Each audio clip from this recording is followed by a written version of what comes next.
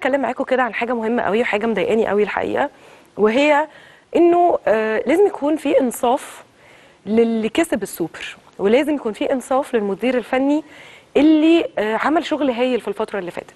يعني الحقيقة شيء ظالم جدا وشيء حزين جدا لما تلاقي الناس آه، أو بعض الناس مش عايزة أعمم بيقولوا عن لقاء السوبر إن الزمالك فاز باللقاء ده وإنه آه، كسب المباراة بس لمجرد إن الأهلي ما كانش يعني في ال top form بتاعه أو إن الأهلي ما جاش السعودية أو إن فرقة الأهلي يعني ما كانتش أفضل حاجة وإن بس نادي الزمالك كسب المباراة دي علشان كده.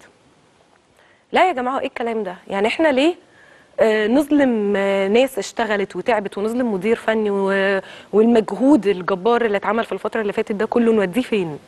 يعني إيه فريق كسب علشان فريق تاني ما كانش أحسن حاجة؟ يعني إيه؟ ده ده كلام آه، مفيش حد يفهمه ودي مش كرة القدم. أو نقول إن المدرب ده كسب الماتش ده علشان المدرب التاني ما كانش كويس. لا خالص مفيش أي حاجة اسمها كده في الدنيا. الفريق اللي ما كانش كويس ده هو مش محور الكون على فكرة. لازم نفهم إن عناصر اللعبة فرقتين مش فريق واحد. ولازم نفهم إن في اتنين مدربين مش مدرب واحد. وإن صحيح كلاهما حالته مؤثرة جدا على الآخر. ولكن شغل كل طرف فيهم هو مرتبط آه، بالفريق بتاعه بس. يعني لو الفريق ده مش موفق أو المدرب ده مش موفق بيبقى ده مش معناه إننا آه، نقول بقى إن الأفضلية للفريق التاني أو المدرب التاني عشان الفريق ده مش موفق. عمرنا ما سمعنا الكلام ده. فعيب قوي لما نسمع النهارده أو نقرأ النهارده كلام إنه بس الزمالك كسب علشان الأهلي ما كانش كويس. لا ده عيب قوي إن إحنا نسمع كلام زي ده لأن الحقيقة الزمالك آه، كان فيه فوز مستحق. والزمالك عمل أداء مبهر وعناصر الفريق كلها كانت نازلة بتعمل شغلها على أكمل وجه وكلهم كان على على آه، قدر من الرجولة ومن المسؤولية كلهم على قلب رجل واحد كلهم نزلوا المباراة عملوا اللي عليهم وزيادة. فعيب قوي وما يصحش ابدا إن إحنا ننسب النجاح ده إنه بس الفريق التاني ما كانش أفضل حاجة. هو إن الفريق ما كانش أفضل حاجة أو أو كان كويس ده مش دي مش قصتنا ومش مشكلتنا خالص. دي قصتهم هم يحلوها بقى يشوفوا هم كانوا كويسين ولا مش كويسين دي بتاعتهم. ولكن اللي بتاعنا إحنا إحنا بنتكلم على فريقنا. فريقنا كان نازل شايف آه، شغله مركز. اللعيبة نازلة عاملة كل اللي عليها. المدرب عنده استراتيجي واضحة وباينة. وده شفناه في حاجات كتير قوي. فمش هن يعني هنشوف كل ده ونقول بس إن النتيجة كده عشان الأهلي ما كانش كويس. لا الزمالك كان كويس والزمالك استحق الفوز وده كان فوز مستحق و... وكان لازم يحصل. كان لازم يحصل لأن إحنا كنا داخلين مركزين وداخلين اللعيبة دي كانت عايزة تصالح الجمهور واللعيبة دي عارفة قد إيه المباراة دي كانت مهمة جدا بالنسبة للجمهور لجماهير الزمالك كلها. وقد إيه الفوز ده والمباراة ده دي هتبني على اللي جاي آه، في المباريات في الموسم الجديد. وقد إيه اتكلمنا على الدفعة المعنوية اللي هتجيلنا لما نفوز بمباراة آه، زي دي في وقت زي ده. وإحنا طالعين فيه من كمية مشاكل كبيرة. حصل ابرام لصفقات حصل دعم. اللعيبة مركزة. نزلوا الملعب لعبوا بشكل يليق باسم نادي الزمالك. مش هنيجي في الآخر ونقول إن الأهلي ما كانش كويس فعشان كده الزمالك كسب. ده شيء إحنا عمرنا ما هنرضى بيه ولا عمرنا هنسكت لما نسمعه. ولو رجعنا نتكلم عن المدربين آه وقلنا مدرب كان موفق ومدرب مش موفق أو إن المدرب ده كان أحسن من المدرب ده لا الاثنين يا جماعة آه يعني لو الاثنين لو هنتكلم على المدربين الاثنين ما كانوش في يومهم وقتها فصاحب الكواليتي الأعلى هيكسب أو ربما صاحب التوفيق الأكبر هيكسب. ولكن الحقيقة ما كانش كده. الحقيقة إن الزمالك كسب عشان آه هو نزل لعب كويس عشان هو كان مركز عشان هو كان حاطط هدف الفوز عشان كنا الأفضل. وده بان جوه الأرض وجوه الملعب. وجوماز كسب كولر لأنه قدم شيء على أرض الملعب. وده اللي خلاه يكسب. والشيء ده ملوش أي علاقة نهائيا بمشاكل الفريق الآخر أو المدرب الآخر. هما مش محور الكون. إحنا بنتكلم على فريق الزمالك. والحقيقة إن كولر ما كانش فعلا موفق في ماتش السوبر. يعني ربما هو ما حضرش كويس لل game ربما أدار المباراة بشكل أقل من المتوقع ربما ما كانش عامل حسابه إن الفريق هينزل فريق الزمالك هينزل بالأداء ده. لكن الحقيقة بتقول برضو إن جوميز من ناحية تانية كان محضر كويس جدا كان عارف ال game هيمشي إزاي وأدار الماتش بحرفية كبيرة جدا. بمعلمة لو هنتكلم.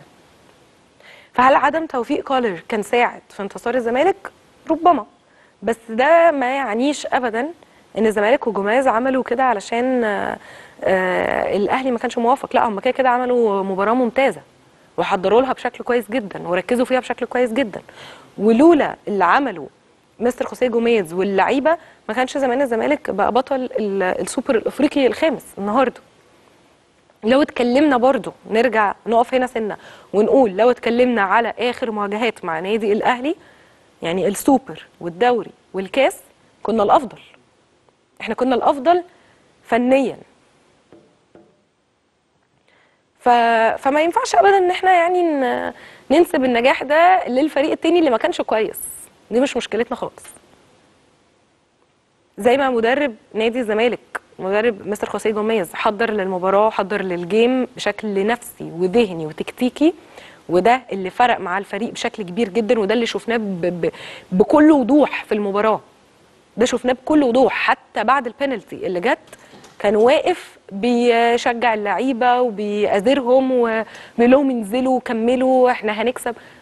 هو ده فريق الزمالك. والفريق الحقيقة كان فيه شخصية قوية جدا باينة وتفوق في أغلب الثنائيات على أرض الملعب.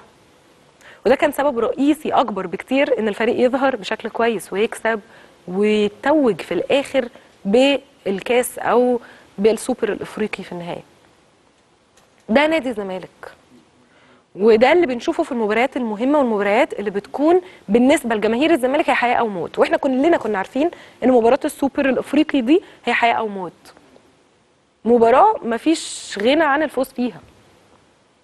والجماهير قالت ده واللعيبة كانت عارفة ده واللعيبة نزلت صالحت الجماهير بسبب ده. دلوقتي وحاليا مستر خوسيه جوميز مدربنا البرتغالي الكفء أمام فرصة تاريخية لصناعة إنجازات كتيرة جدا في الموسم اللي جاي ده.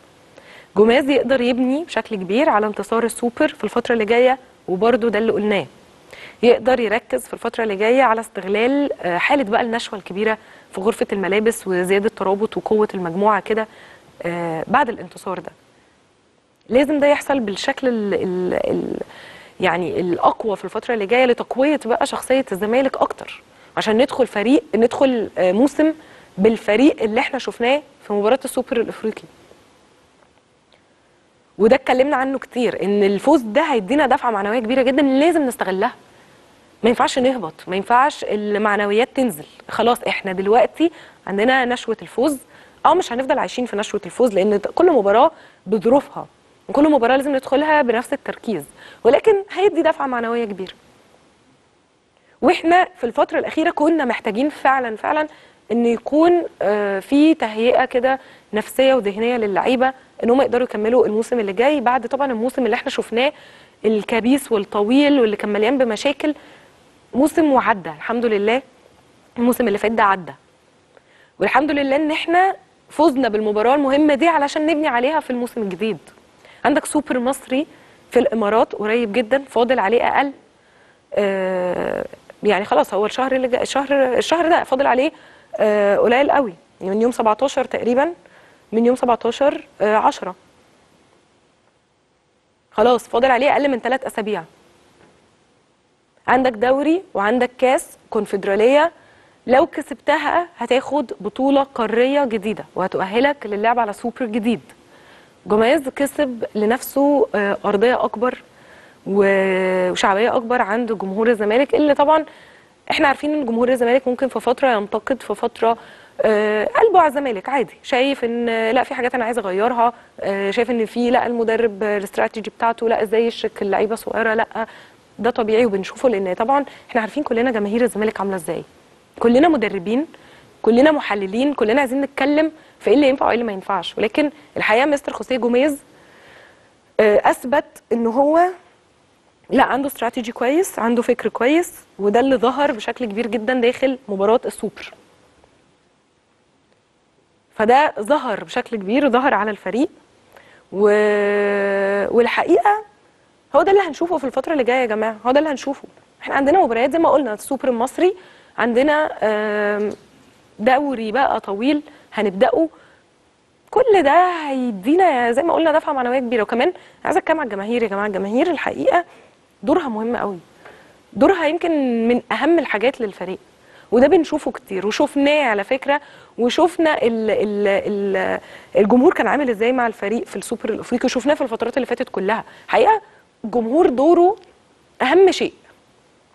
هو اللاعب رقم واحد واللاعب رقم 100 من أول المنظومة لآخرها جماهير الزمالك هي السند والدعم رقم واحد. وده اللي بيفرق مع اللعيبة.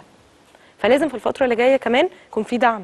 داخلين على السوبر آه، دوري عندنا مباريات مهمة كتير. لازم يكون في دعم أكبر زي اللي شفناه وزي اللي بنشوفه طول حياتنا. أنا مش بقول حاجة جديدة يعني. النهارده مش طالع أتكلم مع الجماهير وأقول حاجة جديدة. ولكن محتاجين دعم أكبر في الفترة اللي جاية. وإن شاء الله الزمالك يفضل دايما على نغمة الانتصارات. الزمالك آه، نادي يستحق وجماهيره تستحق إن هم يفرحوا ويفوزوا بكل المباريات اللي جاية لأنه نادي كبير. نادي الزمالك ده نادي كبير جدا. واكبر قلعة رياضية في مصر. نادي كبير ويقدر إن هو يفوز بكل اللي جاي إن شاء الله وده هنشوفه إن شاء الله في الموسم الجديد. أنا واثقة وعندي يعني آمال كبيرة جدا في الفترة اللي جاية إن إحنا نشوف مستوى فريقنا وأدائه زي مباراة السوبر كده بنفس التركيز ده وبنفس العزيمة والإصرار اللي كان عند اللعيبة كلها. فإن شاء الله كل التوفيق لفريقنا فريق نادي الزمالك. في الفترة اللي جاية نشوفه في مزيد من الانتصارات ويرجع تاني لنغمة الانتصارات والنجاح والنجاحات والإنجازات. وده مش بعيد ابدا على نادي الزمالك.